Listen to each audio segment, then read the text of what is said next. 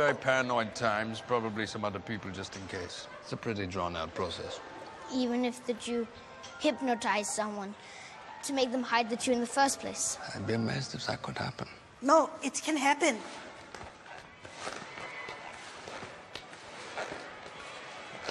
It happened to my uncle. A Jew hypnotized him, and he became a massive drunk and a gambler, and he cheated on his wife, and he had an inappropriate relationship with my sister. And then he drowned in an unrelated accident, but it was the Jew's fault. Anyway, did you see one? A Jew? I'm not sure I'd be able to tell if I did. Yeah, I mean, either. Without the funny hats, it's damn near impossible. Someone should write a book on the subject. It would make things so much easier. It'd be a hit. Pinky. You're drowning. Come on. I'll see you later, little man.